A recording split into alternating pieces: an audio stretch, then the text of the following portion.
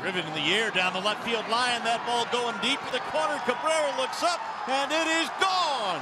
Jacoby Jones with a three-run shot, and the Tigers have the lead. Instant offense from Jacoby Jones. How happy is he? First major league home run for the youngster Jones, and nothing but smiles on the Tigers bench.